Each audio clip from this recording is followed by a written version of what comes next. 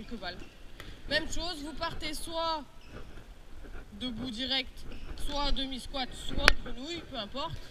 Et il y a un tir qui force à se déployer.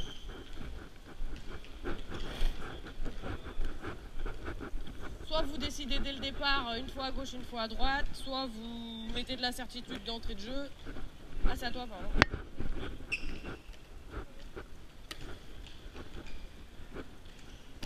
Bien. Eh non, c'est pas bien. Voilà.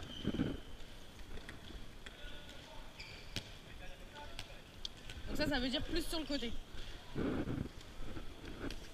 Bien. Toi, t'aimes mieux ton côté gauche, toi. Ouais. Ça bloque dans la tête. Repars, repars de l'autre côté, là. Ouais. C'est mieux. Voilà. Très bien. La main ne tombe pas au sol. Plus euh, sur les côtés. Hein.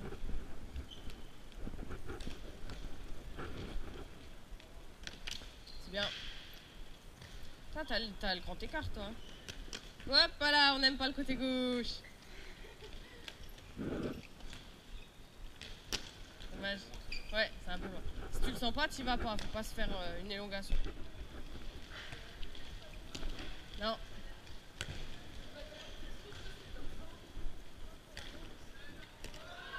On faire une parade futsal. Tu envoies la balle entre mes jambes. Comme ça, ok? Tu fermes comme ça.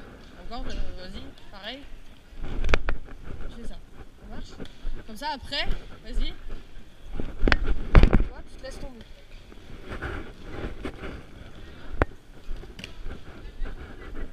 Ok, 2-3 minutes pour vous, on va bosser la parade futsal. Ça veut dire que soit tu vas l'envoyer loin, parade glissée, soit tu vas l'envoyer sous la jambe et ça va donner. Tu vises. Ça donne ça. Ok Vous faites euh, voilà, une fois de chaque côté un peu. Cette main là, soit. Normalement c'est ça. Ça ferme ici. Celle-là, elle reste mobile ici. L'avantage de celle-là, c'est qu'on reste plus équilibré. Elle est à l'intermédiaire entre une yougoslave et puis une euh, scandinave. Du coup, ça vous permet, si vous faites l'arrêt, de vous rééquilibrer plus vite.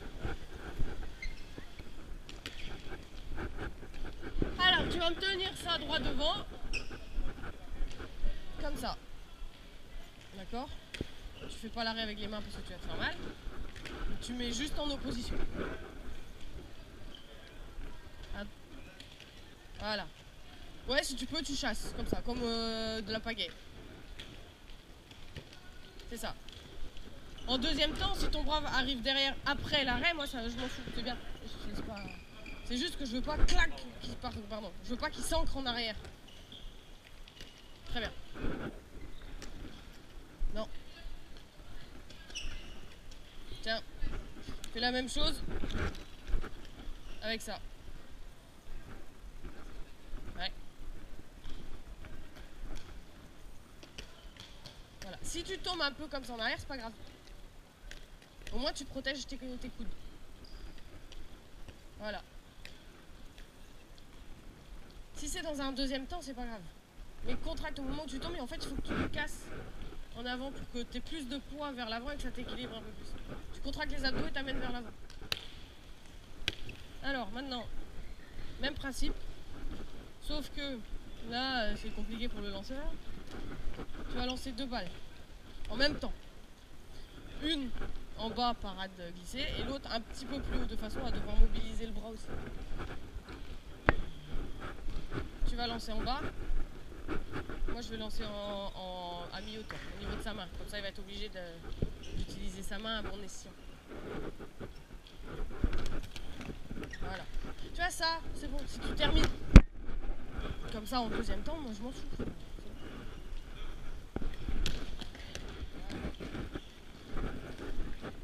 Donne la balle. Merci. Au sol. Non, la balle. Je te l'envoie. Passage. Vas-y, donne la balle, vas-y, va de l'autre côté. Moi, à toi. Ouais, vas-y. Vas-y, tu contournes. Et là, pareil. Ta main gauche, tu l'amènes devant. Alors tu vas faire un truc. C'est que déjà, tu vas, voilà, tu vas être là. Tu vas être au même niveau de Robin. Toi, tu vas être là. Il va te dire hop, ça et tu vas enchaîner l'arrêt. Vous allez faire ça aussi. T'es là, face au mur. Théo, il va là, il va dire tu vas être là, il va dire hop, et après t'enchaînes à droite ou à gauche en fonction de ce qu'il te fait comme tir.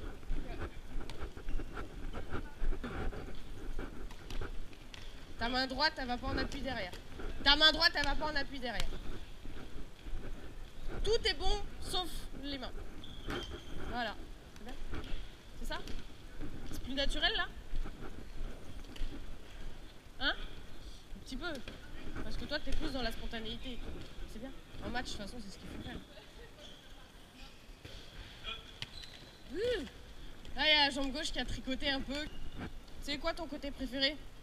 Le plus facile Celui-là Je te l'envoie là. Hop Voilà.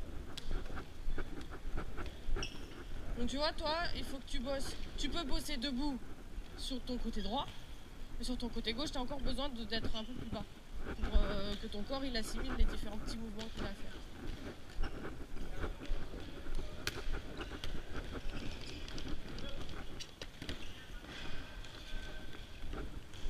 Essaye peut-être un peu moins fort, mais un peu plus sur le côté. Gantbox balle, gantbox balle, on dégourdit. Moran, tu enfiles les pattes d'ours.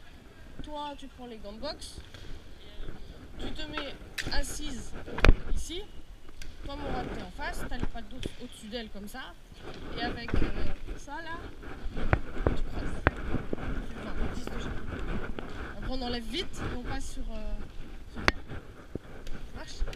Tu vois, euh, à gauche, mais elle va l'avoir avec la main droite. Elle croise. Très vite. Comme ça, ok Demande de l'attacher le deuxième. Allez, go, go, go, go, go. Allez, allez, allez, allez, allez, allez, allez, allez, fort, fort, fort, un peu plus bas, Morane, un peu plus bas. Voilà. Faut qu'elle te repousse. Voilà, c'est cool, c'est cool, c'est cool, c'est cool, c'est cool, c'est cool. Allez, ça enchaîne.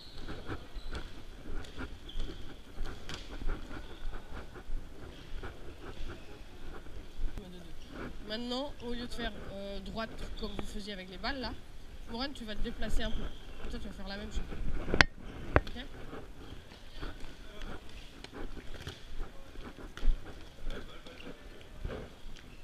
Et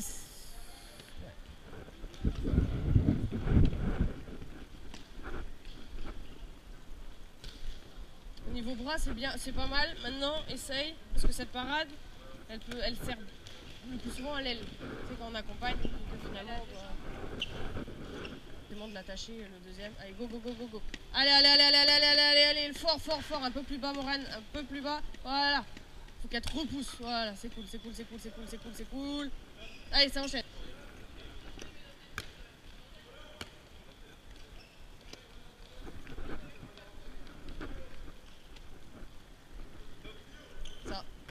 Après. hein. Vous alternez une fois sur deux. Vous faites. Donc cette parade, l'avantage. Enfin, je sais pas si vous avez déjà entendu parler. Il y a deux écoles. Il y a l'école yougoslave et il y a l'école scandinave. C'est quoi la différence entre les deux? Olé olé. Ouais, on va dire ça. Donc, les Yougos, on reste équilibré toujours, toujours, toujours, toujours, toujours. Peu importe si c'est en bas, peu importe si c'est en haut. Et c'est ce que tout le monde apprend en premier pour arrêter les ballons en bas. Tu ouvres ton pied, tu fléchis, tu vas chercher la balle. Là, on est sur de la Yougo. Rien n'empêche d'apprendre la scandinave. La scandinave, c'est on couvre le plus d'espace possible. Quitte à être déséquilibré, l'objectif c'est de couvrir le plus d'espace. Donc, avantage de la Yugo. C'est quoi l'avantage de la Yugo On reste toujours équilibré, donc l'enchaînement de tâches il peut être plus rapide à faire. Désavantage de la Yugo. On a intérêt d'être hyper précis sur l'endroit où on va poser le pied. Avantage de la Scandinave. On sait que ça arrive en bas, mais on ne sait pas exactement où. On va couvrir le plus possible en déployant la jambe en bas. Bien. Désavantage. Enchaînement tâche plus compliqué. Niveau prévention blessure, la Scandinave elle peut apporter plus de blessures aussi. Au niveau du dos, parce que tous les muscles des jambes là, ils sont rattachés au bassin, qui est rattaché ici. Donc ça veut dire que si on n'est pas souple au niveau des jambes et costaud musculairement parlant en termes de renfort, ça peut trinquer ici. D'où l'intérêt de bien s'étirer, tout ça. Les genoux, face interne, quand ça tape, on met une genouillère, le problème il est réglé, c'est pas grave, c'est qu'en bleu.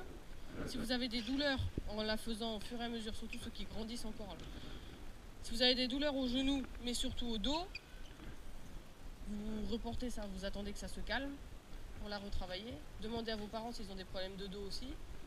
Moi je ne le savais pas, mais ma mère elle en avait, euh, dont j'ai hérité. J'avais mal, je faisais que des, que des glissés, tout le temps, tout le temps. Et à un moment, j'ai eu très mal au dos, je suis allée faire une IRM, et puis ils ont diagnostiqué le même truc que ma mère. Donc si j'avais su ça avant, je n'aurais pas fait ça. Enfin, moins.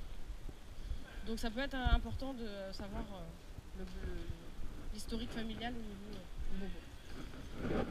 Euh, donc cette parade, vous pouvez la faire sur des tirs de loin, des 9 mètres qui arrivent en bas. On est un peu à l'arrache au niveau temps et puis aussi sur des tirs euh, de 6 mètres où euh, le gars, où vous voyez qu'il tire en bas en accompagnement, vraiment dernière minute.